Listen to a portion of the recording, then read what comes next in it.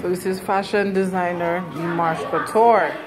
And he's setting up his table today. Okay, this is his men apparel right here. Okay, nice, beautiful pieces. And this is his, uh, all of these is designed by him. The Dimash Marsh Couture. Blue and Bougie. Right?